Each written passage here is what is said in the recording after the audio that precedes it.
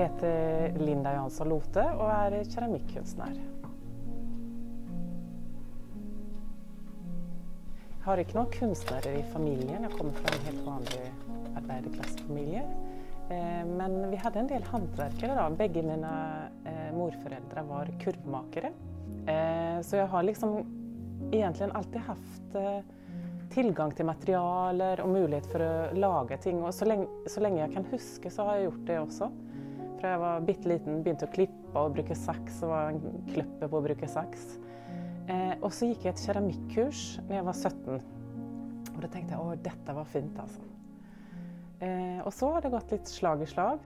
Etter at jeg gikk ut 93, så har jeg jo gjort veldig mye forskjellig. Um, så jeg har jobbet med Jeg har hatt eget verksted siden 93, da. Eh, og de siste 23 årene har jeg delt verksted med tre kolleger på Frogner. Jeg har uh, jobbet som lærer på kulturskole ved siden av, og hatt en del andre jobber også for å på en måte være såpass fri i mitt utøvende at jeg ikke er nødt for å lage liksom blå kopper eller hva det nå er som folk etterspør. Jeg jeg må liksom få lov til å på en måte være fri. Eh, det har vært viktig.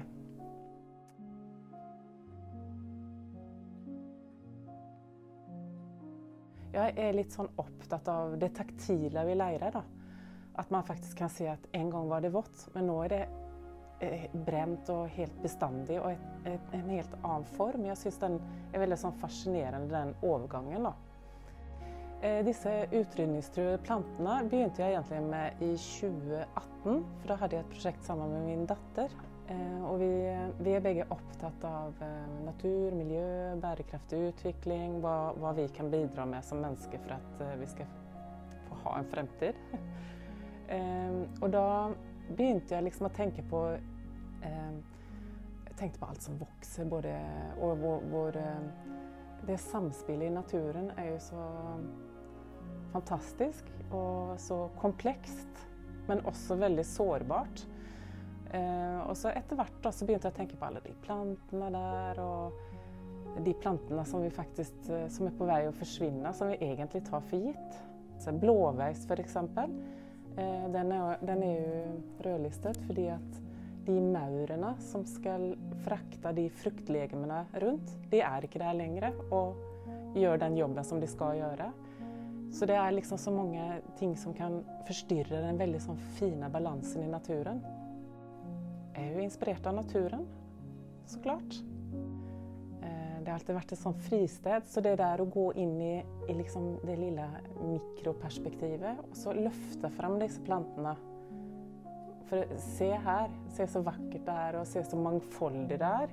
Hva kan vi gjøre for at dette skal bevares, at vi ikke skal ødelegge det for de fremtidige generasjoner? Det syns jeg har vært veldig viktig. Ehm, de blomstene lager jeg i porselen. Men porselen har jo den egenskapen at når du setter det inn i ovnen og brenner det opp til 1260 grader, så kollapser det. det. Det, har liksom en sånn Du må liksom støtte det opp, eller du må finne ut en måte Noe brenner jeg liggende da, for at det ikke skal kollapse. Um, og så jobber jeg mye med gips, gipsformer. Uh, det har jeg gjort helt siden jeg gikk ut fra skolen, egentlig. Både støpt og modellert. Men mitt hjerte ligger nok mest i det å modellere, bygge opp for hånd. Jeg har en dreieskive som jeg bruker innimellom, men veldig ofte så kan jeg dreie opp former som jeg etterpå forandrer på og setter sammen. Og så håndbygger jeg litt. Jeg tror jeg er veldig sånn opptatt av det man skal liksom på en måte se hendene. Som noen av de plantene jeg har laget, så, så trykker jeg liksom bare leira i hånda, og da får man liksom alle de fine linjene sånn, som også finnes i naturen, i blader og eh, kronblader og sånn. Så jeg syns det, det, er fint med den der nærheten til materialet. Men det blir aldri kjedelig, syns jeg, å være kunsthåndverker. Det er alltid noe nytt å oppdage. Det syns jeg er fint. Det er en av de tingene som er veldig sånn besnærende da, med å holde på med dette. Det går aldri lei.